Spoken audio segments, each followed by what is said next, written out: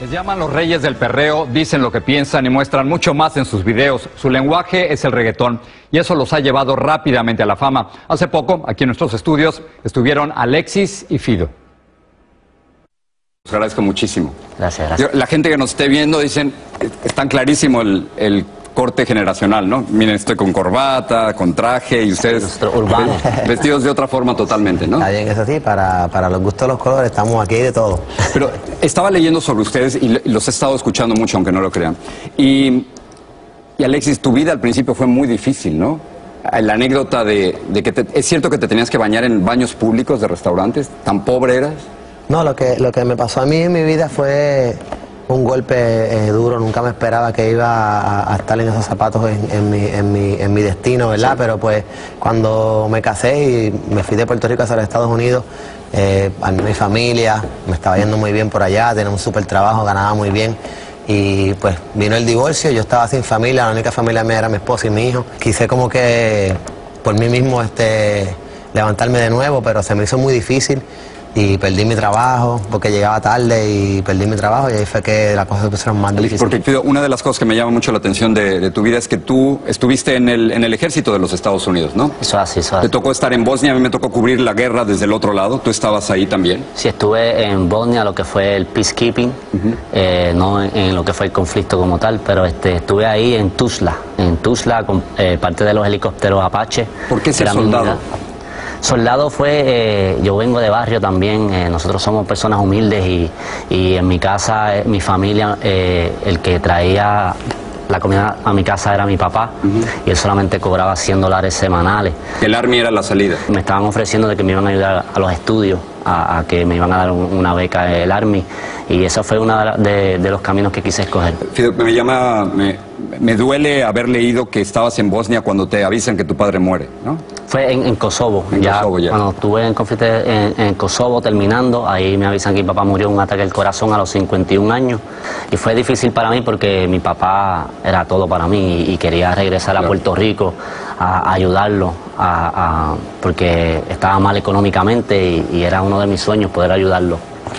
Ese es un poco de, su- de su vida personal. Vamos a entrar un poquito en, el- en la cuestión de la política. Se sienten ustedes puertorriqueños, ¿no? Sí, totalmente. puertorriqueño. O sea, puertorriqueños antes que cualquier otra cosa. Claro que sí. Pero, pero a ver, eh, Fido, pero tú estás, tú estás a favor de la estadidad. Tú quisieras que Puerto Rico fuera el Estado 51.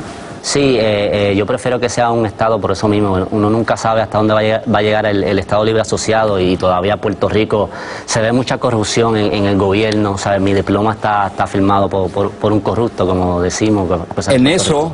no están ustedes de acuerdo, Alexis. Tú no, estás, tú no quisieras que Puerto Rico fuera un Estado. No, en eso siempre, una de las, de las peleas que siempre tenemos es eso, porque este, yo creo mucho en el Estado Libre Asociado, yo entiendo que Puerto Rico es muy pequeño para ser este, independiente y yo creo que, que- que si nosotros somos estalidad, perdemos como quien dice lo que es la raíz de Puerto Rico, que es nuestra bandera, son algunas cosas que nos identifican como puertorriqueños en el mundo entero.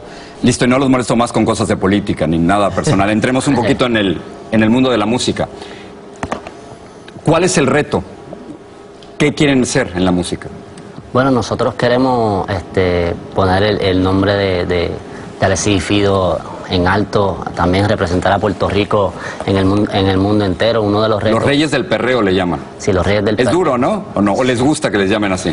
Bueno, sí, es que mucha gente ah, no entiende a veces, quizás escuchan perreo y, y se asustan porque es como una palabra. Suena a sexo, pues. Exacto, ¿no? pero el, el perreo ya es. Ya Tú es te ríes, Alex. Cuando el género comenzó era muy explícito, era bien fuerte. Oh, pero sus videos, hombre, más explícito que eso. Bueno, es que siempre en los Son sensuales, latinos, son en los, sensuales. en los- en los Son, latinos, son sensuales, en los ¿no? latinos siempre nos mantenemos picantes, eso es lo que de verdad a la gente le gusta ver. Este, nosotros somos reales, lo que cantamos lo transmitimos en los videos. Yo no me voy a poner una máscara en la cara que voy a cantar. O sea que su vida es así, pues. O sea, lo que me están diciendo es que la vida de los jóvenes es así. La vida de los jóvenes es un poco más eh, eh, sin tapujos y sin, sin tabúes ahora mismo como tal vez para un adulto lo es. La, la juventud ha O sea, no hay que esconder nada. La idea es no esconderlo. Con respeto, pero, pero no hay que esconder nada. O ni tanto, ¿no? Bueno, eh, Están promoviendo un, un nuevo CD, La Esencia, ¿no? La Esencia. Estaba leyendo los, los títulos, tan magníficos. Imagínate, Salvaje, eh, Sudao, no quiero ni preguntarles de qué va esa. Eh, Santa de mi devoción, alócate, juiciosa, todo quedó en el olvido y rompe la cintura es lo que está pegando más, ¿no? Sí, rompe la cintura. eh, Ya perreo es un movimiento, ya es un ritmo. Me pareció interesantísimo el éxito que tuvieron en Viña del Mar. O sea, cómo pudieron traducir ese ritmo, que uno diría es tropical, caribeño de nuestros países, de pronto se lo llevan a, a Chile y pega, ¿no? Fue increíble lo que nos pasó en Viña del Mar.